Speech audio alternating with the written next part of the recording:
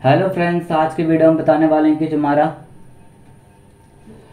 Oppo phone है तो Oppo phone की सेटिंग्स में आकर जो हमारे फ़ोन में नोटिफिकेशन साउंड है तो नोटिफिकेशन साउंड को आप कैसे सेट कर सकते हैं ओप्पो फ़ोन में? तो वीडियो स्टार्ट करने से पहले हमारे चैनल को लाइक करें सब्सक्राइब करें, साथ में बेल आइकन दबाना ना भूलें। तो वीडियो स्टार्ट कर लेते हैं। तो आप देख सकते हैं कि जो हमारे फ़ोन के आइकन्स हैं तरीके से शो हैं तो आपको स्वाइप कर लेना है। स्वाइप करते ही ऑल आइकन्स अपने आएँगे। फिर आपको क्लिक कर देना है फ़ोन आइकन्स पे। सॉरी सेटिंग्स आइकन पे क्लिक करेंगे तो जो हमारे फ़ोन में नोटिफिकेशन साउंड है, उसको हम कैसे सेट कर सकते हैं? तो सबसे पहले आपको क्लिक करना होगा। साउंड एंड वाइब्रेशन पे क्लिक करते sound and vibration setting open आती है फिर आपको क्लिक कर देना इस ऑप्शन पे।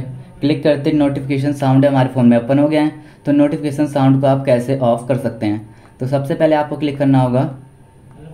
नहीं सॉरी सेट कर सकते हैं। सेट करने के लिए आपको क्लिक करना होगा। यहाँ से कोई भी एक साउंड सेलेक्ट कर लेंगे। तो हमने वाला सेलेक्ट कर लिया। तो हमारे फ़ोन में सेट सेट हो गया है। तो जैसे हमारे फ़ोन में कोई भी नोटिफिकेशन वगैरह आता है तो साउंड हमारे फ़ोन में शो करेगा, क्योंकि हमने इसको सेट कर दिया तो इस तरीके से अपने फ़ोन की सेटिंग्स पे जाकर नोटिफिकेशन साउंड को आप सेट कर सकते हैं ओप्पो फ़ोन में। तो आपको वीडियो अच्छी लगी तो लाइक करें सब्सक्राइब करें, साथ में बेल आइकन दबाना ना भूलें। और थैंक यू